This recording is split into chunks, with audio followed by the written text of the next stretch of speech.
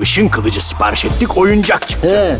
Sen normal ışın kılıcı mı bekliyordun? Nasıl iade edeceğiz? Hepsi buraya gir böyle iki tıkla gelip senden iade alıyorlar zaten. Bu seni kesmiyor.